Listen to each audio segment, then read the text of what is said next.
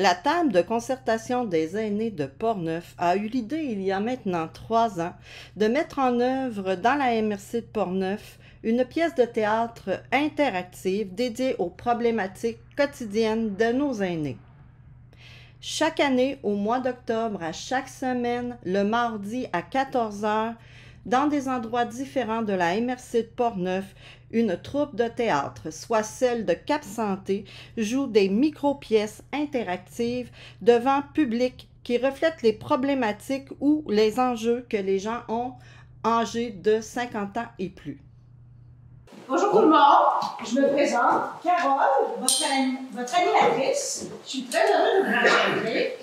Est-ce que vous êtes curieux de savoir en quoi ça consiste un atelier de croissance? Croissance doit être vue dans le sens positif. Ça, ça veut dire grandir, évoluer, parce que vous savez qu'on peut évoluer à tout âge. Hein?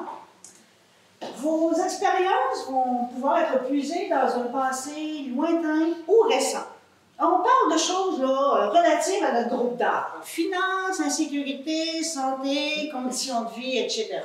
Tu parles, tu parles d'un événement qui aurait pu avoir un impact dans OK, OK, j'ai compris. J'ai euh, ben moi, j'aime bien ça, manger de la pizza. Puis quand euh, j'ai un peu d'argent dans mes poches, ben là, euh, je m'en vais au restaurant, puis je m'en paye une bonne.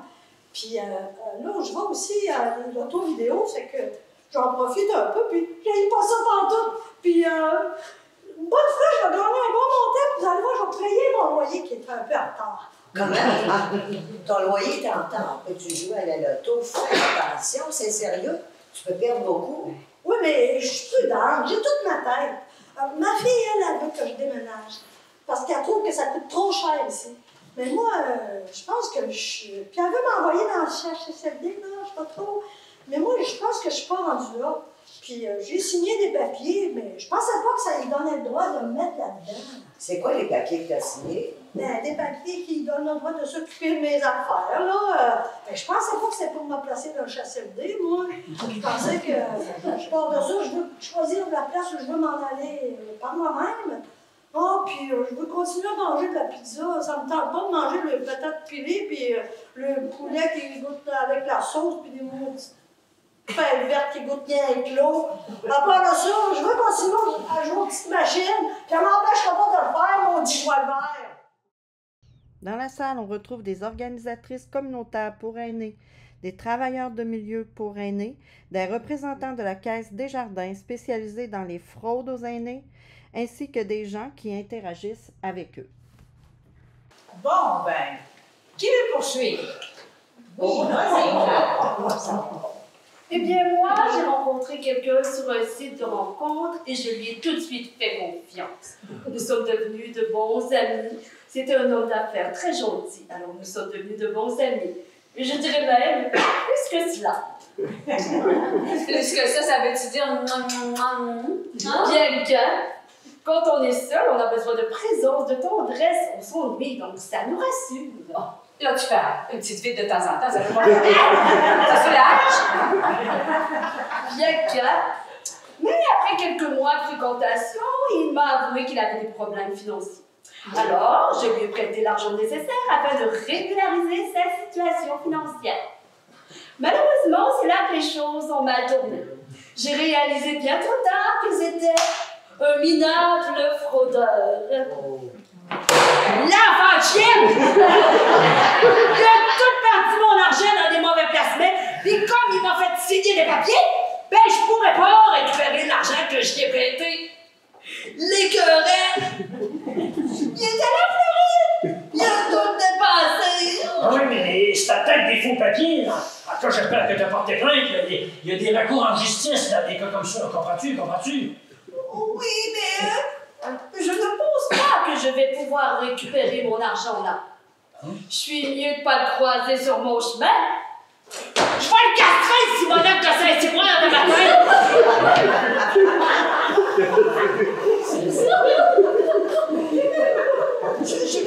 Désolée là si je tiens des propos comme cela là. Mais je suis tellement enragée là! Depuis ce temps-là, je me sens honteuse. Je vois des fraudeurs partout, n'ai plus confiance en moi. C'était à moi cet argent-là. Maintenant, je vais dépendre de mes enfants. Comme si j'avais besoin de cela, moi, dépendre de mes enfants. Mes enfants sont tellement occupés à peine s'ils ont temps de venir me voir. Tous les sujets sont abordés lors de cette pièce de théâtre interactive. Les sujets sont aussi variés que le jeu compulsif, la fraude amoureuse, les signatures sous pression, la solitude, la santé, les problèmes financiers, la honte, le silence et les problématiques face aux nouvelles technologies. L'argent liquide. De toute façon, aller au guichet automatique chercher notre argent, c'est pas toujours évident. Celui où je vais, là, il est dans un champ quasiment à l'autre bout du monde. L'hiver, ça prend presque des raquettes pour y aller. Ah, je te dis que les temps changent. On s'est rendu que tu photographier un chèque pour le déposer. Mais quand tu prends une photo d'un chèque, là, en gros plan, est-ce que tu te déposes un plus gros montant? là, En tout cas, moi, je suis pas à l'aise avec toutes les nouvelles technologies. J'ai trop peur de faire une erreur et de, de perdre mon argent. Ah, je suis toute perdue là-dedans, là. Moi, les ordinateurs, là, pas capable. Quand je touche à ça, ils bug bien raide. Ça me fait sacrer sans bon sens. Et, écoute, euh, j'ai l'impression que euh, je suis pas capable de faire marcher ça. Une chance que j'ai ma fille pour me donner un coup de main. Je serais pas capable de faire marcher ça tout seul. Il y a des fois, j'ai l'impression qu'il va se mettre à japper après moi. si au moins ça marche au propane, ben s'il y avait un choke, je saurais peut-être comment faire marcher ça. Comprends-tu? Comprends-tu? C'est comme les, les messages qu'on reçoit tout bout de champ, là. C'est insécurisant. La semaine passée, j'ai eu une alerte, là. Ça me disait que j'étais un pédophile. Il fallait que j'aille euh, au palais de justice le plus tôt possible. J'ai eu peur, je me suis posé des questions. Hey, ça venait de la gendarmerie royale du Canada. Oh, je voyais une police monter sur son cheval devant ma porte tout de suite. Peut-être qu'une fois, tout à fait par hasard, là, euh, je suis tombé sur un site pour adultes, mais je suis pas un pédophile pour ça, patin. Écoutez, je vous comprends.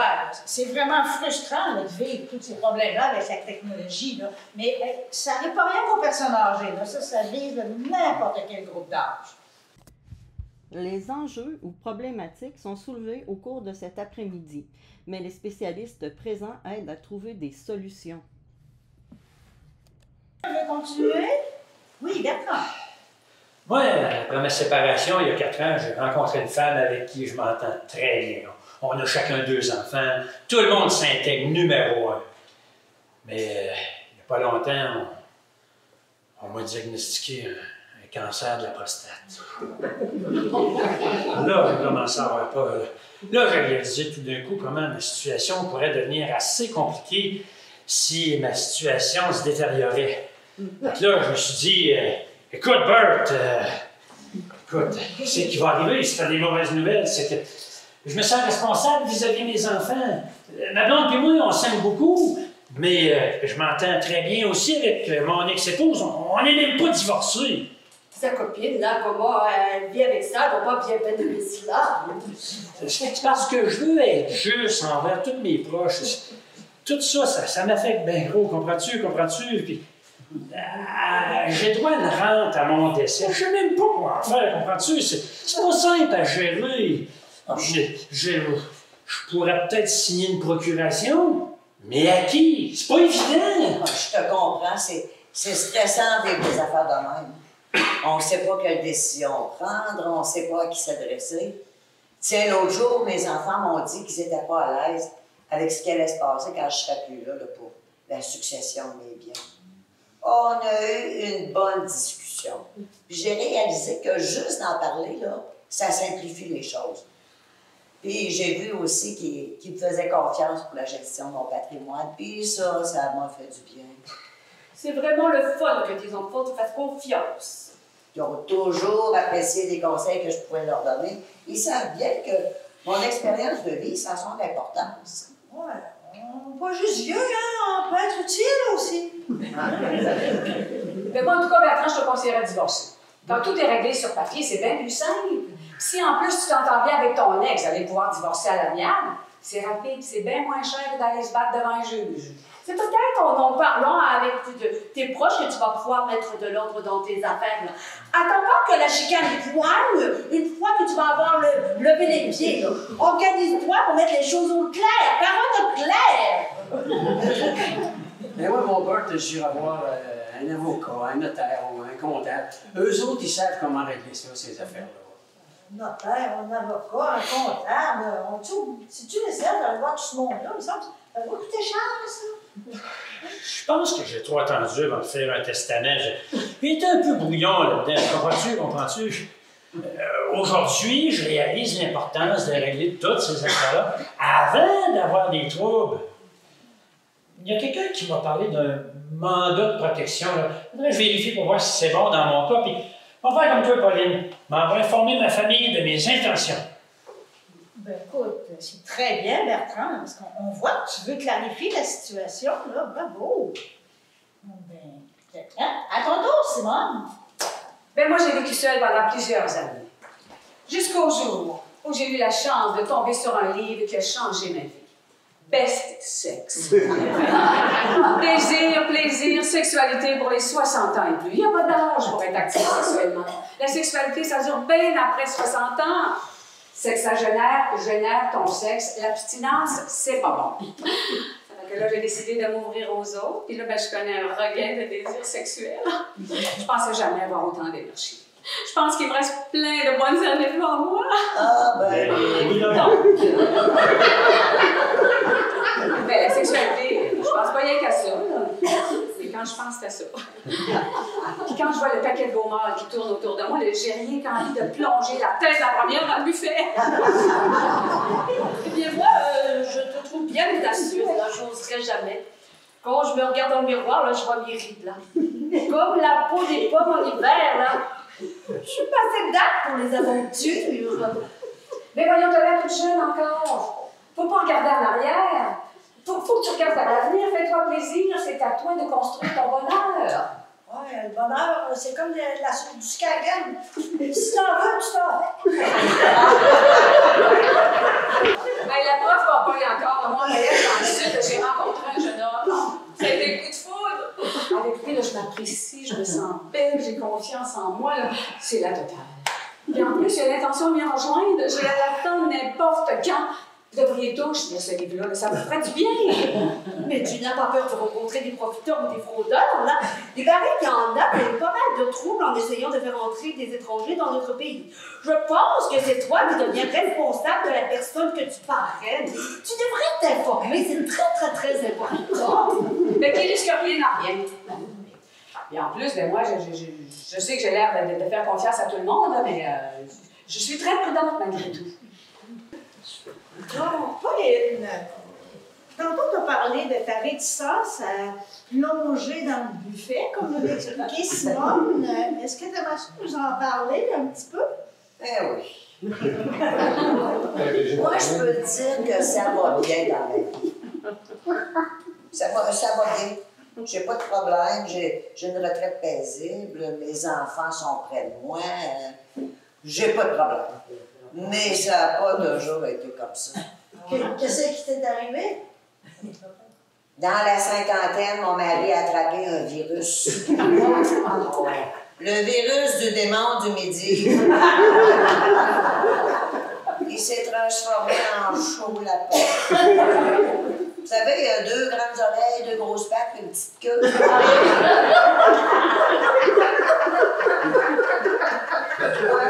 Claire, un sauteur.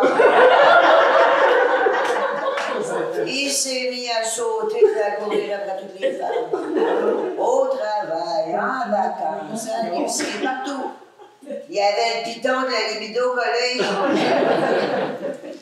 Je l'ai laissé aller un petit bout de temps jusqu'à ce que j'en ai assez. Eh bien, comment tu réglais cela? Je l'ai mis à la porte. je l'ai mis à la porte et je lui ai dit qu'il devrait se lancer dans, dans l'élevage des lapins et la vie. Il n'a rien compris, l'épée. Il m'a dit que lui, les cunilingus, il n'avait rien contre ça. Maudit les bidineux à la langue. Faut dire qu'il n'a jamais eu la langue dans sa poche. J'aimerais ton courage, moi. En tout cas, je m'en fais pas pour lui. Si c'est comme tu dis, Simone, que la sexualité, ça s'entretient jusqu'à la mort, ben, il devrait finir ses jours heureux. Mais il va peut-être avoir la langue à terre.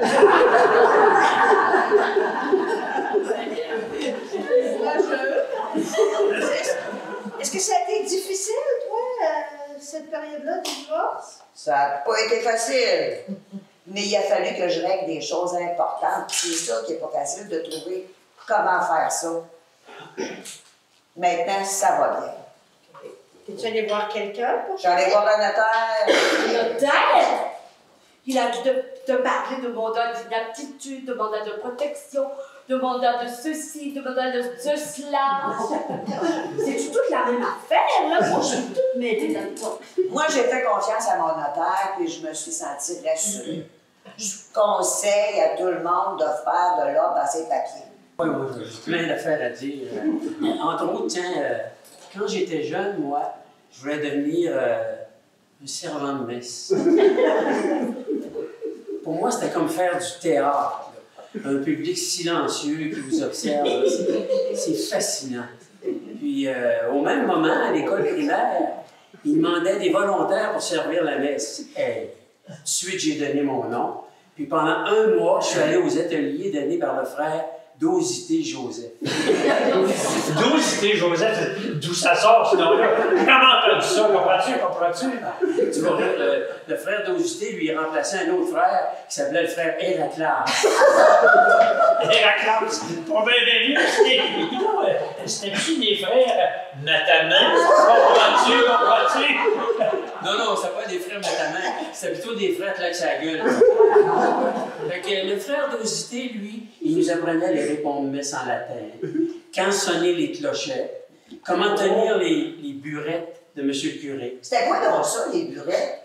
C'était-tu les. à Monsieur le curé?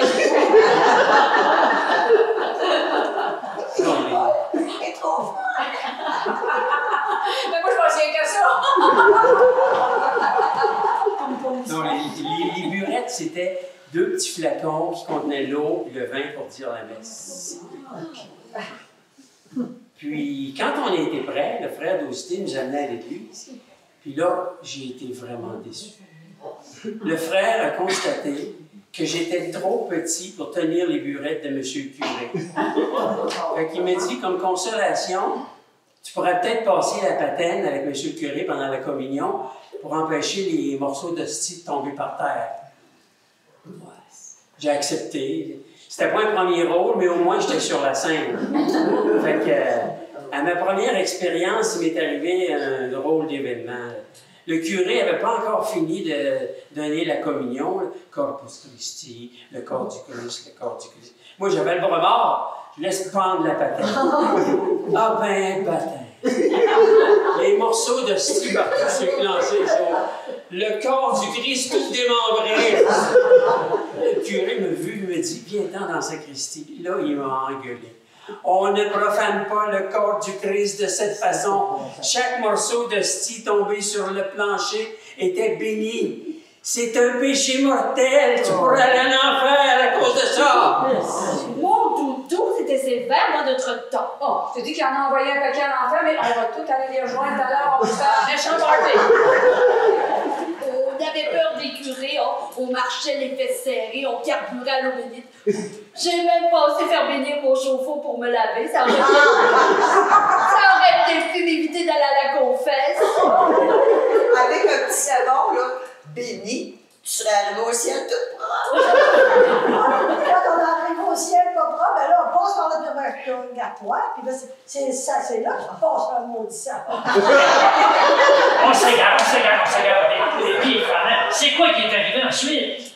Ben, Le curé me dit enlève ta soutane et ton surplis là, pour pas les salir.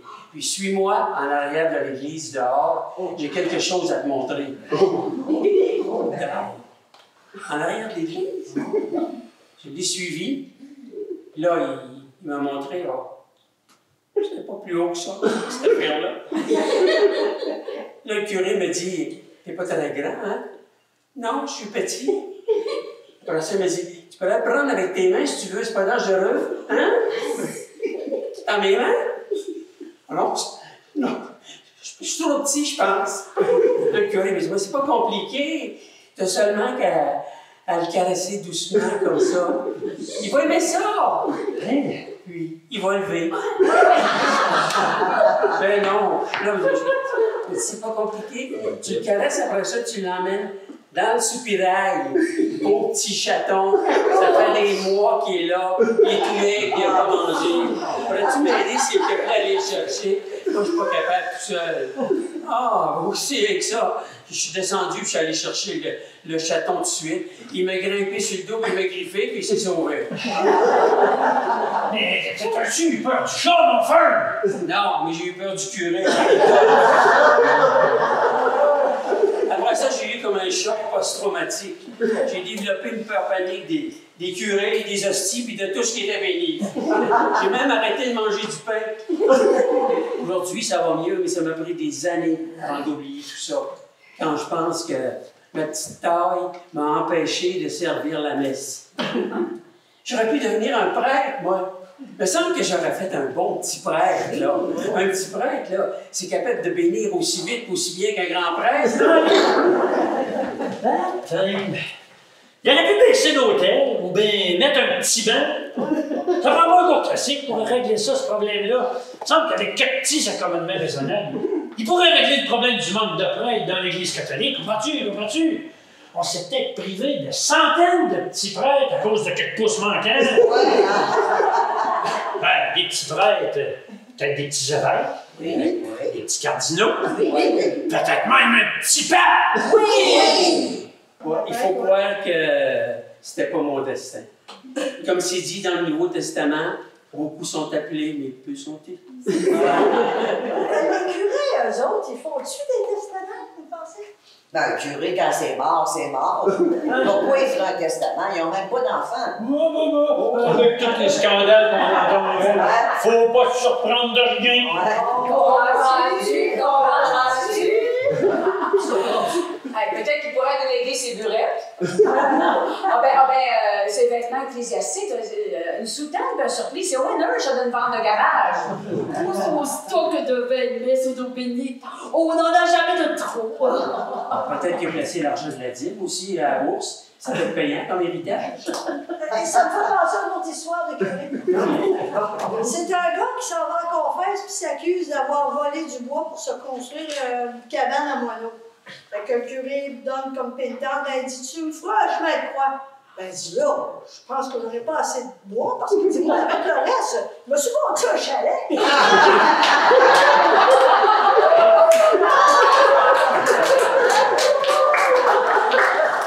Sacré Corinne! Je pense que la prochaine fois, là, on pourrait penser faire une thérapie dans le rire. Ah oui. Non, mais euh, sérieusement, là, vos derniers commentaires vous font réaliser l'importance de faire un testament. hein. Mieux vaut ne rien laisser au hasard si on veut év- éviter des situations litigieuses.